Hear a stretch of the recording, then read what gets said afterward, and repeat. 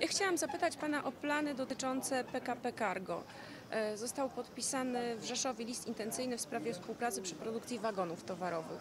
My podpisaliśmy ten list intencyjny wspólnie z PKP Cargo i jeszcze trzecim partnerem, to jest amerykańską firmą Greenbrier, która w Polsce posiada fabrykę wagonów w Świdnicy na Dolnym Śląsku.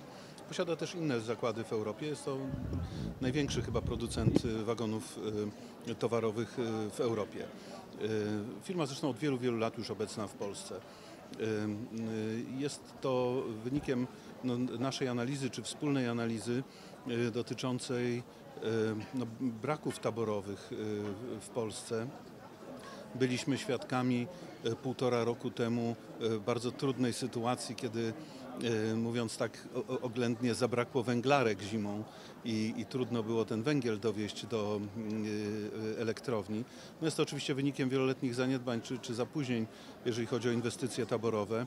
No to tra- teraz trzeba nadganiać, ale nie tylko, bo y, jednak gospodarka się rozwija, transport y, się zwiększa z roku na rok, przewozy y, towarowe rosną, rosną również przewozy kontenerowe, kontenery są przewożone y, koleją. Y, I to wszystko po prostu powo- powoduje, że brakuje y, taboru i będzie go brakować jeszcze przez wiele lat.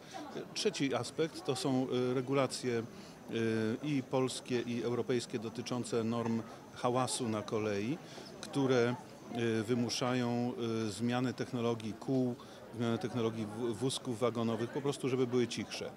I to daje Polsce okres kilkunastu lat na dostosowanie się, ale wbrew pozorom kilkanaście lat na modernizację lub wymianę y, floty liczącej kilkadziesiąt tysięcy wagonów to naprawdę nie jest długo. Także te potrzeby produkcyjne są, y, trzeba je zwiększać.